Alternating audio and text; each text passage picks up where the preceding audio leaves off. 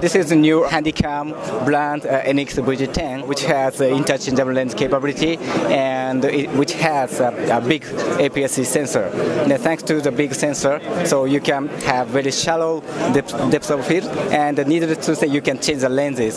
So this is using new Sony E-mount system, and of course you can directly attach the E-mount lens from Sony, and besides you can also attach the Sony A-mount lens, uh, which is used in the alpha lenses by using uh, some adapter from Sony.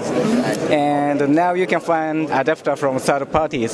So for example, converter to PL mount, converter to uh, Canon, converter to uh, Nikon. Of course, we have received many requests from the from professional users. So now we are gathering uh, their voice. Then I hope uh, we can meet their demand, um, their requirement in the near future. I hope. Oh, yesterday, uh, this was shipped in Japan, and in Europe, uh, this will be available end of this month or beginning of October.